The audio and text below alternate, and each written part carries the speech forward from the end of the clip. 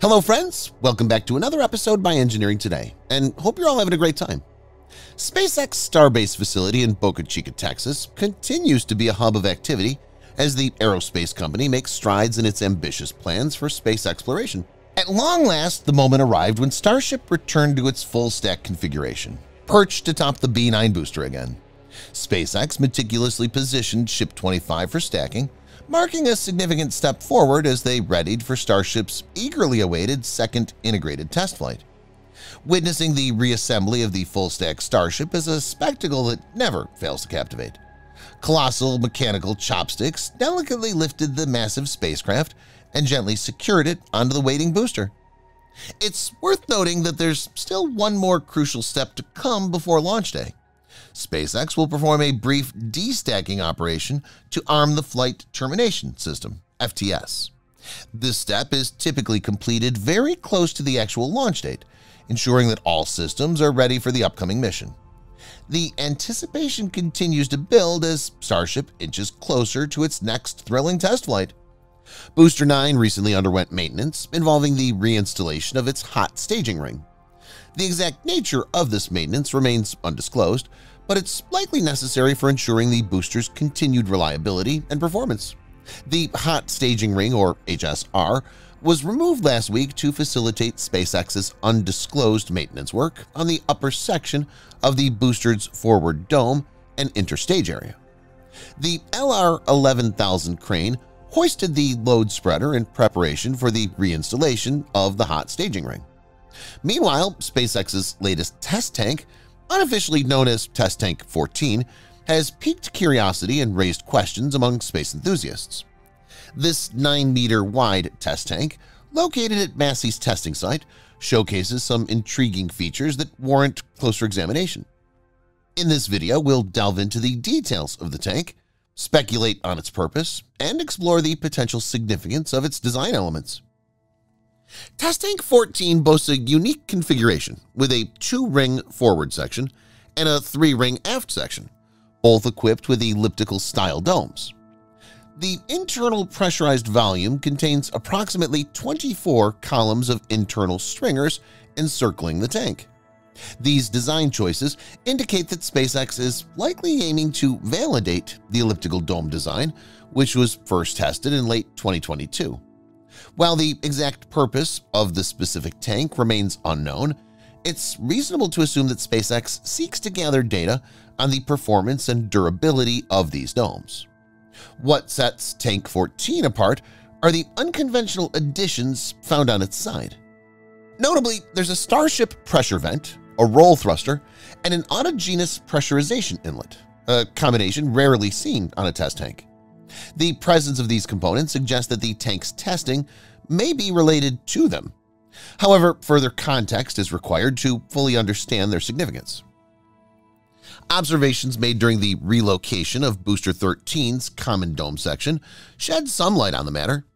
The vents associated with this booster displayed unusual valve configurations, lacking the typical exterior actuator. This potentially indicates a revised valve design, if this new valve design is intended for Starship, Test Tank 14 could serve as a platform for testing its functionality before its implementation elsewhere. Although this speculation remains tentative, it presents an intriguing possibility to consider. Returning to the elliptical-style domes, they stand out as the most visually striking aspect of the test tank. Ship 27's aft section has been placed inside of the nose cone testing structure at the Massey site. This is pretty odd, and we currently have no idea what kind of data SpaceX is looking to get from the test. The new E-Dome test tank, or Test Tank 14, presents a captivating enigma for space enthusiasts. While its exact purpose remains undisclosed, its unique features and potential testing scenarios offer intriguing possibilities. On the other hand, SpaceX secured an extension to its communications license from the Federal Communications Commission, or FCC, This extension is intended for experimental orbital demonstrations and recovery tests of the Starship test vehicle in Boca Chica. It's important to note that this extension should not be confused with approval from the Federal Aviation Administration FAA.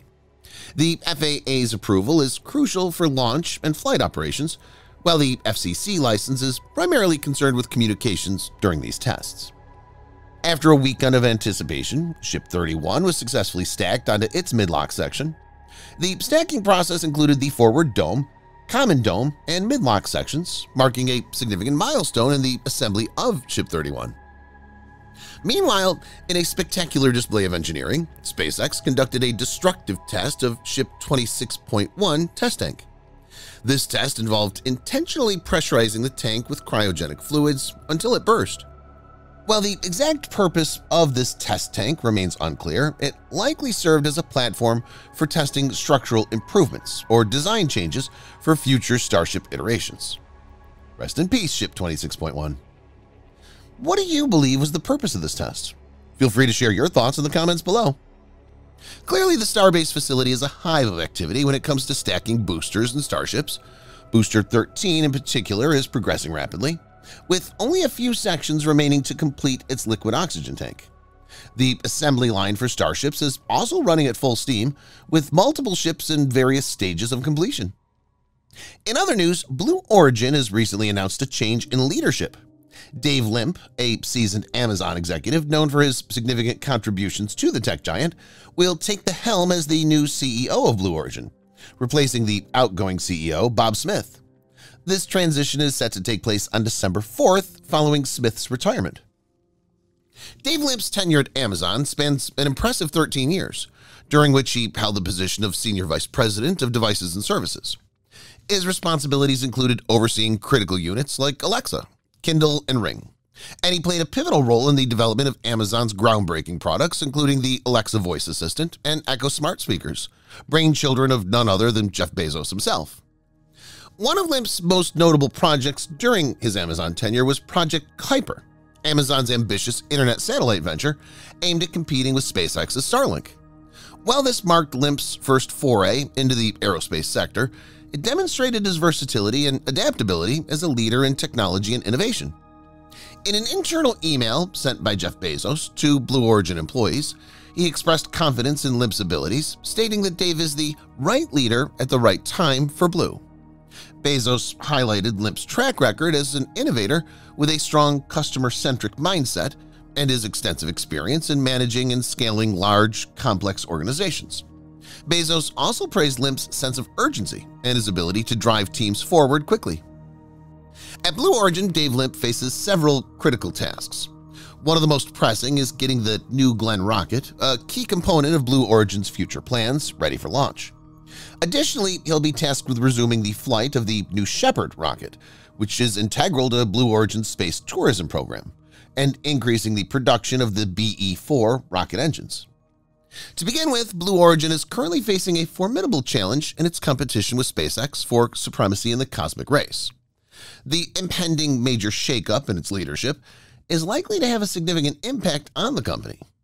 What are your thoughts on this development? Feel free to share your opinions in the comments. And that's all for now. Thanks for watching. Please subscribe for more videos like this. Hit the like button if you find the video interesting. And kindly provide your valuable feedback in the comment section. This will help us to improve.